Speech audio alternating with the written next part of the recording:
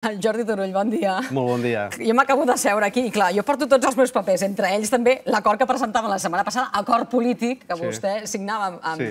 amb eh, Santos Cerdana a, a Brussel·les i de seguida m'ha dit aquest no és el bo, eh? No, Exacte. aquest és l'acord polític. Llavors tenim a l'acord amb la... No, però no és el bo perquè el que vam signar no hi havia escuts. Ah, val, val. Um, però a banda, això és l'acord polític i el que avui uh, tenim ja és la lletra petita del, del, de la llei d'amnistia. Ara sentíem la portaveu d'Esquerra, uh, Raquel, Raquel Sanz, uh, sobre aquesta llei orgànica d'amnistia per la normalització institucional, política i social a, a Catalunya. Um, aquest text, vostès contemplen que pugui ser esmenat en la tramitació eh, parlamentària que ara tot just comença? Ho dic perquè Esquerra eh, no ha signat el text, vostès tampoc no ho han fet, i ells diuen que és que s'ho estan mirant a nivell jurídic i tècnic.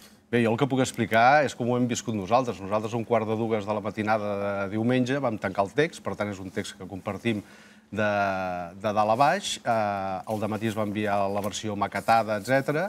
La vam signar, eh, però després se'ns va demanar doncs, que hi havia algú que no la volia signar i se'ns va demanar, si plau que els hi deixéssim signar amb ells sols. I vam dir, escolta, cap problema, perquè nosaltres era una de les condicions que posàvem, que abans del debat de, d'investidura doncs, hi hagués una llei d'amnistia amb la que hi estiguéssim d'acord. I per tant nosaltres, com que la vam tancar, ja dic, a un quart, dos quarts de dues del matí, ens vam acabar posant d'acord, no sense abans moltes reunions i contrastar, etc. I per tant és un text que compartim. Si hi ha esmenes, les mirarem, eh, eh, però jo crec que nosaltres, nosaltres no en presentarem d'esmenes perquè és el text que ha costat moltíssim de, de pactar, eh, molts... Eh, jo diria gairebé la meitat del text és aportació nostra i, per tant, hi estem, hi estem d'acord i s'ha fet allò punta de coixí jurídica perquè no quedés ningú al marge. I per què no l'ha signat junts en el registre del Congrés? Perquè el PSOE ens va demanar que preferien fer-ho ells sols. Vam dir, escolta, doncs presenteu-lo. L'important és que s'aprovi una llei d'amnistia i ja està. Jo ja l'he explicat, nosaltres ja la teníem signada, però ens van demanar que o tots o només ells vam dir, doncs escolta, nosaltres el que volem és anar a investidura amb això, que era una condició eh, presentat, i per tant, escolta, el tema és qui menys la signa, sinó que acabi apareixent al butlletí oficial de l'Estat. Uh, més enllà del que Esquerra ha dit públicament i que acabem de sentir en boca de Raquel Sanz, vostè sap per què els republicans no la signen i què és el que estan mirant? Això li han de preguntar amb ells, nosaltres no ho sabem de cap manera. Nosaltres... Per què no n'ha parlat vostè? El secretari general de Junts no ha parlat amb ningú de la cúpula d'Esquerra per preguntar-los. Sí, jo vaig parlar amb la Marta Rovira la setmana passada, dimecres, quan, de fet, Esquerra va signar un acord que diu tenim pactada una llei d'amnistia i a la setmana següent s'havia de modificar aquell acord que tenien. Ells havien signat l'acord, qui podia modificar allò érem nosaltres. Nosaltres la llei d'amnistia encara no la donàvem per bona perquè hi havia moltes qüestions que no les veiem clares. Per què? Doncs perquè coneixem totes les argúcies, tot allò que són capaços de fer alguns determinats jutges per esquivar, de dir, si no t'enganxo per aquí, et voldré enganxar per allà, bueno, tot allò que en diem el lawfare, de dir, escolta, jo sóc capaç d'inventar-me qualsevol cosa, excusa, per intentar doncs, criminalitzar qualsevol actuació del moviment, eh, del moviment independentista. Sobretot, sobretot d'aquella gent que no és coneguda. Ho dic perquè a vegades aquí es, ens fixem molt en... I nosaltres sempre hem insistit, la llei d'amnistia va de fets, no va de persones.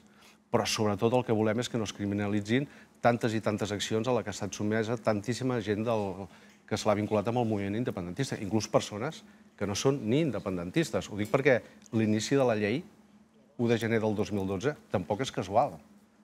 I no és casual perquè, perquè molts treballadors, funcionaris, càrrecs de l'acció exterior de la Generalitat s'han trobat en el Tribunal de Cuentas que els diuen que tot allò que ells feien era perquè, en el fons, estaven treballant pel procés independentista. Uh, i, I són gent que són funcionaris que no han estat vinculats en aquest procés, però que se'ls castiga per què? Doncs perquè se'ls vincula amb una acció de govern, que és la que es vol uh, penalitzar. No? El concepte de l'ofer que ara vostè m'esmentava sí que apareix eh, tal qual en el redactat de l'acord polític i no apareix, almenys amb aquestes paraules, amb aquesta paraula concreta, en la llei d'amnistia. Però vostè defensa que sí, el seu partit defensa que sí, eh, La paraula lawfare no surt, com no surt l'aplicació que hem patit d'allò que en diuen el Codi Penal de l'enemic. És dir... Però està recollit això, perquè fas- Junts diu que sí. És que quan fas una llei, el que utilitzes són conceptes jurídics. Lawfare no és un concepte jurídic penal. És un concepte, diguem-ne, polític d'una persecució judicial que hi ha.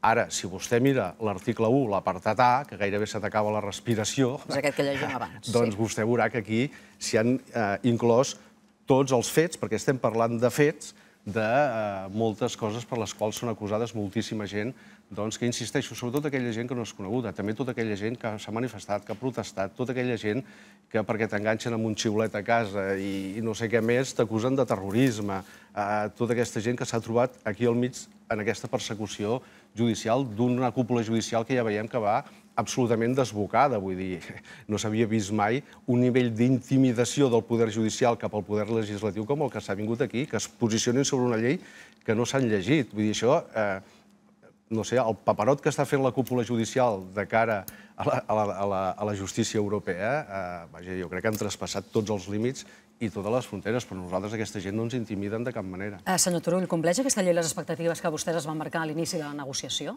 Amb la llei d'amnistia, sí.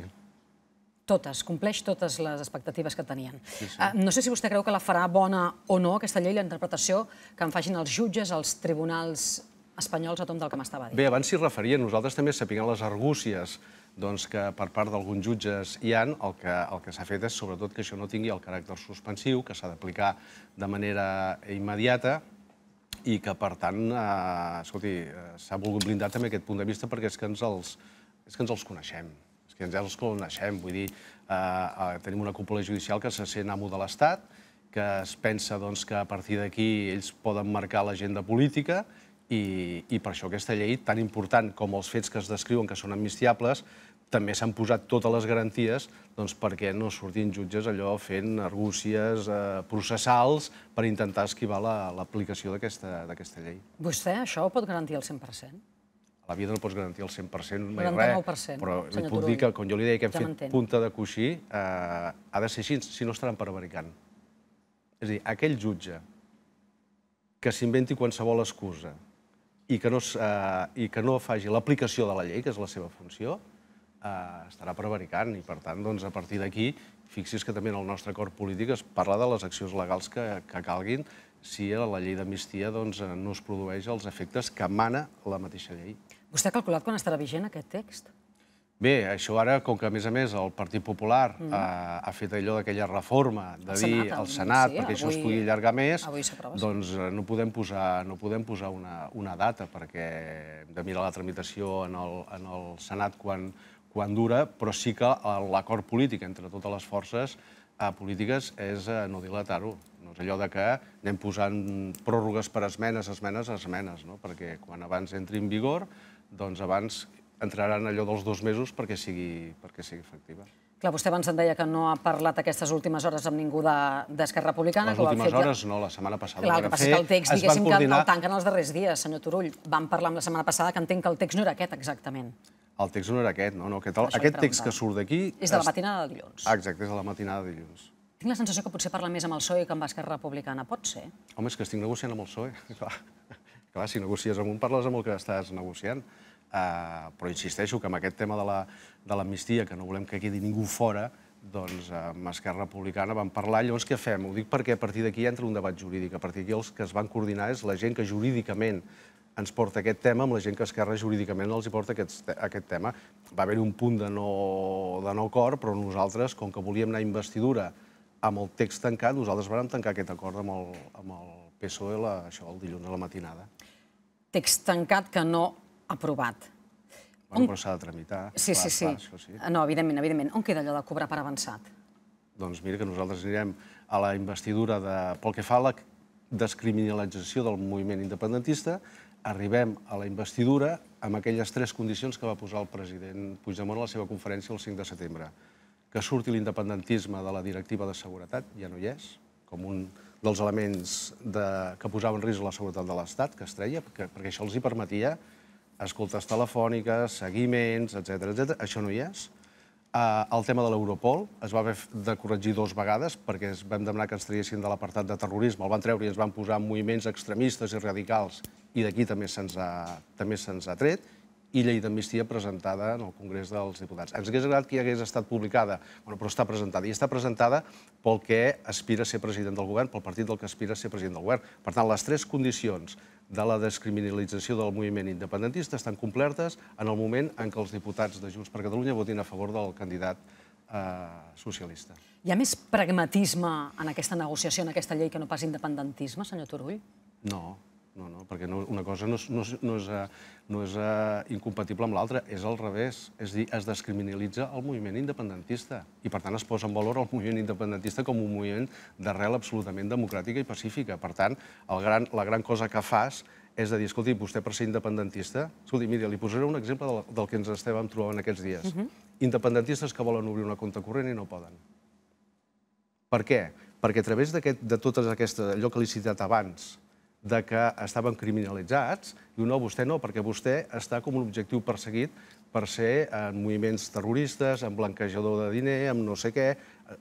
Conec molts que, que estan. De fet, em van ensenyar un, un que li van dir, miri, vostè no, va aconseguir un llistat dels noms que hi eren i jo també hi era. O gent que se l'han trobat, que l'han trucat des d'una entitat financera i diu, no el volem com a client perquè vostè surt amb un llistat de... Tot això passava. A partir d'això, això ha de deixar de passar. Per què? Perquè no estaràs ni a la directiva de seguretat, ni amb el tema de l'Europol, ni, uh, ni... i a més a més estaràs absolutament amnistiat. No? Uh, abans em deia vostè que no s'atreveix a dir quan estarà vigent aquesta, aquesta llei d'amnistia. Quan abans millor, però hi ha uns terminis, i a vegades, si el PP ja juga al filibusterisme parlamentari, fa les reformes, però vaja, que la idea és que això quan abans estigui aprovat definitivament i vagi a aquest acord també ja és per part de totes les forces polítiques. Um, li pregunto en relació a aquesta qüestió, al calendari, per al president Puigdemont. Vostè quan creu... Uh... Estem, en el, estem en el mateix d'abans i, a més a més, li puc assegurar que mai ho he mirat en aquests termes. És a dir, en el calor que en diuen allò, en el fregó de la negociació, mm? nosaltres vam, vam arribar a dir, per detallar tots aquests casos, que preferíem el president i jo quedar fora de l'amnistia, però que no hi quedés fora, tota aquella gent que s'ha manifestat, que ha donat suport, que hi ha estat sempre, etc etc. Mai ho hem mirat en aquests termes. I el igual, igual que, si em permet, igual que, no. si em permet, avui diuen que el president sí. Puigdemont ha escrit una carta, deixi'm que li faci una... El president Puigdemont no ha escrit cap carta en el Consell Helena per demanar seguretat per ell, ho ha fet el seu cap de l'oficina, ell en aquests temes mai s'hi posa per ell, no hi pensa mai, hi ha altra gent que hi hem de pensar uh, per ell, i per tant no hem fet mai en aquests termes. Quan podrà tornar? Uh, quan estigui en vigor la llei, això els, també els experts ho han, han dit, ara no hem fet mai no fet un calendari, perquè de veritat que per l'última cosa que ens hem preocupat, i és així, i si se'ns pot creure bé, si no també, és justament per aquella gent que potser són més coneguts, uh, i el que hem anat és tot, tota aquesta gentada que ha fet possible i que segueix persistent doncs, ajudant a que el moviment independentista tiri endavant. Segons el PSOE, són 309 persones amb causes penals als jutjats, correcte? És la xifra no, que vostès no, no, no, no, no, jo crec que aquí han fet els números del gran capitán, ho sento molt, és dir, no sé d'on treuen aquests números, deu ser de les causes que ells coneixen, però és que n'hi ha tantes de causes que aquests dies els hi, he, els hi hem explicat i, per tant, jo tampoc li diré la xifra exacta que hi ha, l'únic que vull dir és que tota aquella gent que està perseguida d'una manera o altra a nivell penal, a nivell administratiu, a nivell comptable, etc, pel fet d'haver col·laborat o participat en el moviment independentista, ha de poder tenir la tranquil·litat que entra en aquesta llei d'amnistia. Per tant, jo tampoc li diré una xifra. Per nosaltres la xifra de referència segurament serà més la que diu Òmnium que no pas, eh, que no pas aquesta, però la, la xifra total Uh, doncs uh, jo no li puc dir, perquè nosaltres, no, com, com que això no va a persones, no has anat amb un llistat de persones, són, són tantes. Llavors, per què el PSOE treu aquesta xifra? Ah, no sé. De 309 persones amb causes penals als jutjats pel procés, 73 policies i una trentena d'encausats pel Tribunal de Comptes, que també s'inclou aquí. Lo del Tribunal de Comptes és més fàcil de comptar perquè, perquè està allà. Eh? Uh, ara, a vegades, quan els expliques, escolti, vostè sap que hi ha tantes que, que si no hi ha aquesta llei d'amnistia i els jutjats segueixen així, eh, doncs eh, pot haver alguna comarca que es quedi sense bombers a l'estiu, senzillament perquè hi ha un jutge que els ha imputat a tots i és capaç de, de fer no sé què. Vostès coneixen que hi ha tants mestres doncs, que eren mestres i eren alcaldes i que estan doncs, eh, inhabilitats? Vostès coneixen les causes, la, no eren, jo crec que ells no eren conscients de la dimensió del de, eh, nivell de causes que hi han escampades per tots els jutjats de Catalunya en aquesta persecució del moviment independentista. Per tant, jo la xifra exacta no sé d'on la treuen, perquè, a més a més, això no va, com insisteixo, com que no va de llistat de persones, va de totes les causes, doncs el que pot tenir la tranquil·litat qualsevol ciutadà independentista de Catalunya és que si des de l'1 de gener del 2012 fins ahir doncs, eh, té alguna causa amb la justícia per la seva vinculació amb el moviment independentista, queda a dins de l'amnistia. La, uh, Jordi Turull, com es plantegen a partir d'ara la legislatura a, a partir de la investidura de Pedro Sánchez ha passat que en principi d'aconseguir els 179 vots en tindrà 178 per l'aprovació de la llei perquè Coalició Canària s'ha despenjat. Com es planteja en aquesta legislatura? No, aquesta legislatura nosaltres en el nostre acord polític es planteja molt clar. Nosaltres ara abans de novembre ja tindrem la primera reunió amb el... Tenen data? Amb el mecanisme, l'estan lligant pel tema de les agendes, però tothom té clar que ha de ser abans de que acabi el mes de novembre i a partir d'aquí nosaltres tot el que aquests dies hem anat parlant ja ho començarem a, a concretar, començarem a calendaritzar i, i, a, i a mirar de posar-nos d'acord, eh, sobretot amb les dues grans carpetes, que és el referèndum d'autodeterminació i a tots els límits eh, de l'autogovern. Salvador Illa deia divendres en aquest programa al primer secretari del PSC, cap de l'oposició, a la pregunta de si aquesta serà la legislatura del referèndum, va dir directament no. Ja, però si Salvador Illa l'agafen el mes de juliol de, sobre l'amnistia, va dir l'amnistia és impossible i no existirà mai. Vull dir, estem aquí. A vegades val la pena persistir, mantenir la posició, no renunciar a res, i al final te'n pots acabar sortint i nosaltres hi posarem, jo ho he dit a tot arreu, hi posarem el bo i millor doncs, per aconseguir-ho. També el relat que es fa dels antecedents de per què estem en el conflicte, es, ningú de l'estat espanyol l'havia assumit mai. En 1714. Exacte. Jo els hi vaig posar un exemple, ho vaig dir l'altre dia en un mitjà de comunicació, perquè si, és dir, si, no, si no entenem el problema, difícilment trobarem la solució. Jo els hi vaig posar un exemple i els hi vaig dir, mireu, segurament vosaltres eh, perquè culturalment, pel que sigui, tot això no es viu ni es coneix. Si vosaltres agafeu un debat del Congrés dels Diputats de 1916 sobre drets socials, sobre drets de les dones, sobre temes d'igualtat, amb un debat d'ara, tirareu dels cabells de dir com es podia viure en aquella època amb aquestes condicions, de tanta manca de drets i tant. Si vosaltres agafeu un debat del Congrés dels Diputats de 1916 sobre el conflicte Catalunya-Espanya i un del 2023, haureu de preguntar quin és del 1916 i quin és del 2023 perquè sempre està la lluita permanent d'aquest poble per ser reconegut nacionalment i exercir tots els drets de tota nació. I aquí s'ha passat que a vegades s'ha intentat trobar una solució, posàvem aquell exemple dels partits de futbol, sembla que la, primer, la primera part va bé, però el que es donen compte que la primera part sembla que podem guanyar, la segona part ens esclafen. Això va passar amb la Mancomunitat de Catalunya, va passar doncs, amb, el, amb el govern de la Generalitat Republicana, ha passat després, etc etc. És a dir, l'Estat hi ha un punt que diu fins aquí heu arribat i a partir d'aquí us anem a esclafar. Um... I aquest relat no l'havia assumit mai eh, a l'estat espanyol ni cap partit de l'estat espanyol. I a partir de si, si en el moment en què el relat, a l'acord, els antecedents diuen que Catalunya des de sempre està lluitant pel seu reconeixement nacional des de que se li van abolir les constitucions i les institucions seculars, doncs això ja et situa en un altre nivell de debat. I això està assumit pel PSOE. Li pregunto pel el mecanisme de verificació internacional. Mm. Són persones d'algun país europeu? Miri, una de les condicions que et posen és que això no és que sigui discret, sinó que sigui secret. I nosaltres ho hem assumit, i el seu ho ha assumit. I, per tant, eh, són persones internacionals, institucions... Europees? Eh? Sí. Mm. Sí. Sí.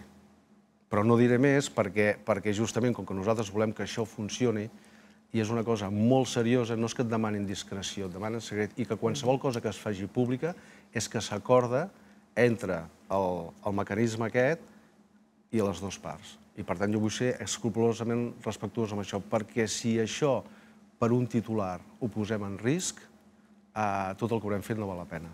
I confia vostè en aquest mecanisme? Molt. Molt, perquè d'entrada, no tot ell sencer, però una part hi ha ajudat que ens poséssim aquest acord. Um, per acabar, em permet una pregunta personal, Jordi Turull? Bueno, personal. No, entendrà. Home, en relació a què estem parlant, evidentment. Perquè, a més a més, fa molts anys també li permetré per això, per això. Fa molts anys que ens coneixem i, i, sí, sí. i, i que expliquem, expliquem sí, el que passa en aquest país i vostè ha estat un dels actors. Uh, polítics destacats de, de tot el que avui ens porta a parlar d'aquesta qüestió. Ja sé que vostè m'ha dit, ni el president Puigdemont ni jo eh, ens vam posar com a moneda de canvi per, per l'acord. Però a nivell personal, aquesta llei d'amnistia és per vostè un triomf, també? Home, jo crec que és un triomf, i tant. La descriminalització del, i de, de tota la persecució que ha patit l'independentisme, i tant, i tant. I pregunto a nivell personal, a Jordi Turull, algú que s'ha passat molts mesos a la presó per l'1 d'octubre. No m'ho he plantejat en temes personals, la veritat que no m'ho no he plantejat. Jo també li, li diria sincerament, la, la nostra gran batalla era amb el Tribunal Europeu de Drets Humans. És a dir, a mi la gran victòria que m'hagués agradat és aquesta, però jo el que estic pensant és amb tota la gent doncs, que tenen les comptes corrents embargades, senzillament per això, perquè apareixen aquí, tota aquella gent que tant els pares, els avis, pateixen perquè el, el, el fill va anar a una manifestació i se'l troben que l'acusen de no sé quantes atrocitats. Eh, eh, per mi és un triomf perquè aquesta gent han de deixar de patir ja. I això era un tema que aquesta persecució havia arribat a tantíssima gent, quan, i sobretot molt a gent jove, que quan vas allà no, no, no és que coneixes a la seva parella, coneixes els pares i coneixes els avis. I sé que això és un patiment increïble per l'exercici de drets fonamentals. Per tant, estic content pel que això allibera a tota aquesta gent, sense que aquesta gent hagi de renunciar a res, perquè aquí no s'ha demanat la renúncia a res. Això no és un perdó, això és la resolució d'un conflicte polític, això no és una mesura de gràcia, això són els indults. S'ha acabat també el seu patiment? Jo Ara no, en comença un altre. jo no deixaré mai de patir. Mira, sóc així d'estrany, de, de, d'estrany, he arribat a la conclusió a la meva vida que la meva afició és tenir mal de caps i, i aquí estem. Uh, Perquè hi hagi gent que no en tingui tants de mal de caps, això també és veritat. Jordi Turull, moltíssimes gràcies per haver estat avui als matins de TV3, que vagi bé. Moltíssimes gràcies a vosaltres.